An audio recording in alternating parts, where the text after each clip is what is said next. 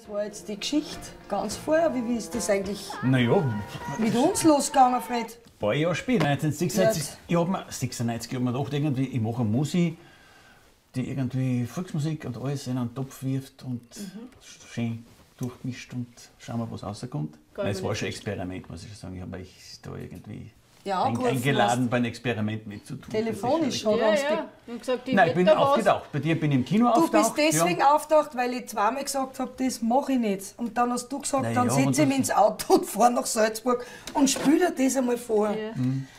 Weiß ich noch, im So Kino das. auftaucht zwischen die ganzen Zuckerln, bist du drin gestanden.